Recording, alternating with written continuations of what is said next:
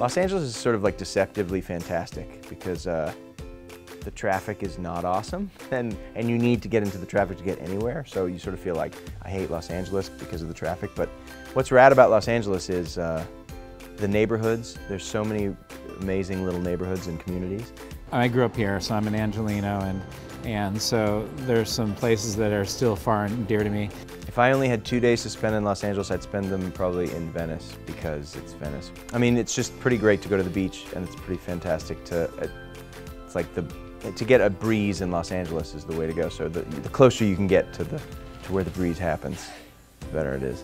Downtown, what's going on here at LA Live and, and with the rest of downtown is, is, is one of the most exciting things I've seen to happen in Los Angeles in a long time. And I think one of the hidden gems in LA is we have one of the biggest parks, uh, Griffith Park. I think Griffith Park is, is really just, is a wonderful little area to, big area to go check out. There's lots of family activities and things to do over there. We have a wonderful zoo. This, this is a, a great city.